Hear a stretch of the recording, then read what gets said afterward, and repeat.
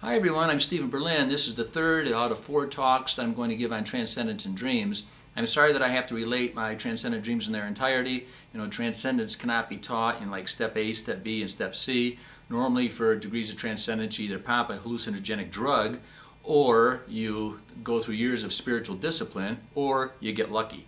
And so my plan is another alternative and that is by uh, the fact that I've had uh, over my lifetime of dreaming, uh, a series of transcendent dreams, and it isn't that many, uh, that by your unconscious mind, and I have great respect for your unconscious mind, it will recognize by listening to these certain patterns and things that even I, you know I don't recognize. You know, our minds are brilliant for doing that, and by listening to these this variety of transcendent dreams, it'll after your mind incorporates it and uh, stews, uh, a probably more appropriate word to be incubates, then uh, somewhere down the line, six days, six months, or six years, your dream will, your dreaming mind will perhaps deliver you, hopefully, your own transcendent uh, state of consciousness, which from your perspective will be far better than any of mine.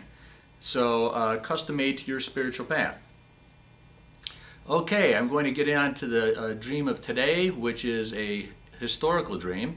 I'm standing in a city square and I'm surrounded by this pretty impressive architecture and in front of the square there's like a stage. And on both sides of the stage are two big metal bowls. I would say huge metal bowls.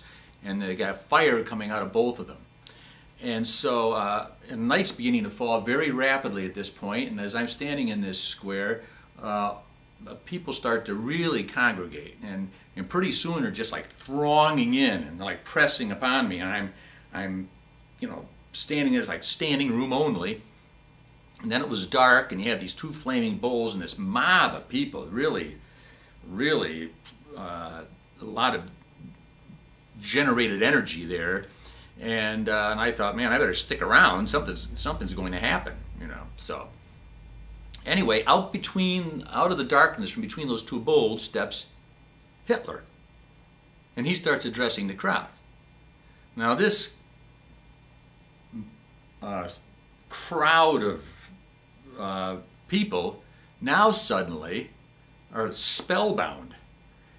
And I'm, I'm witnessing this.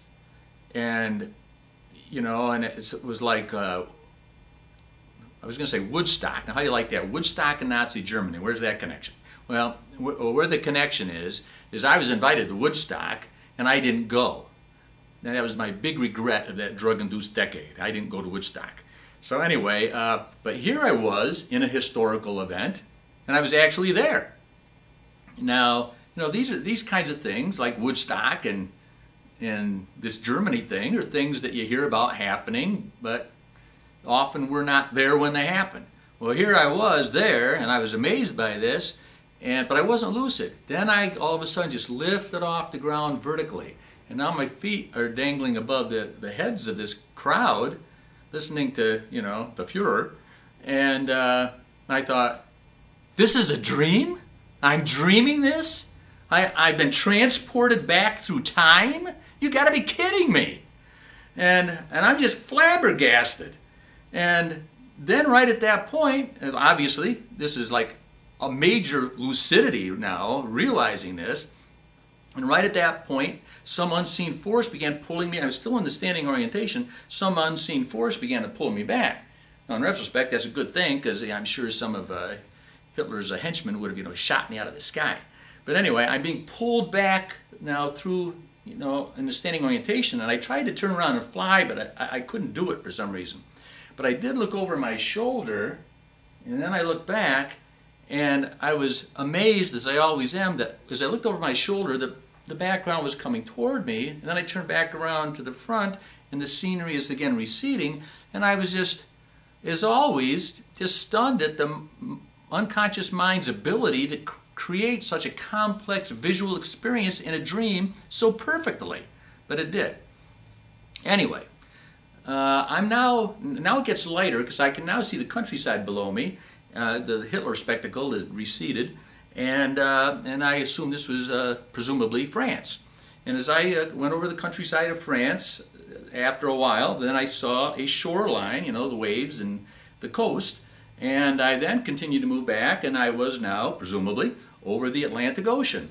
Now, then as I moved out over the ocean, I lost anything I could visually grasp onto. And uh, this is where you would think I would wake up, but I didn't. Now, this part is where the dream became transcendent. The rest, you know, was all sequential and I could tell it. This I can't really tell. Next day I was writing down all day long. And when, you know, anytime I could think of something, I was jotting it down.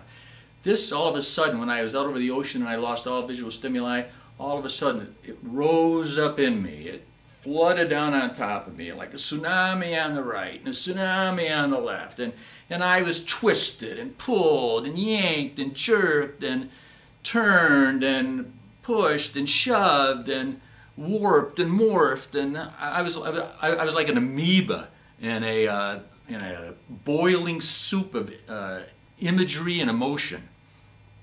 And, and uh, I saw, I saw uh, war and love and battles and blood and uh, all of them, all of the major archetypes, I would say, and family and isolation, nations and flags and religious and sacred symbols and uh, and throughout it all, you know, birth and disease, all, all manner of disease and death, death over and over, and violence and, and youthful infatuation and, uh, and then all of the common things that are common across cultures and time, implements and tools and timepieces and furniture and uh, transportation and uh, art and uh, music and uh, books, uh, weather, transportation, you name it.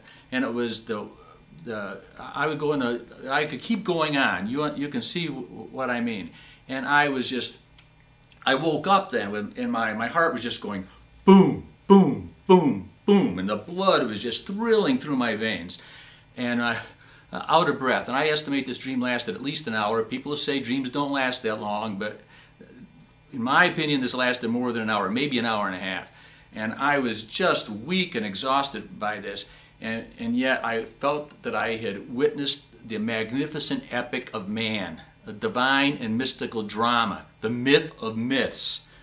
And, and how it changed me is, very frankly put, I felt that I had lived it all, that I had died all of the deaths, that I had been the the, the victim of every horror in the world and also the perpetrator of every horror in the world. And also all of the love and all of the compassion and all of the family and all of the uh, good and wonderful things in life as well.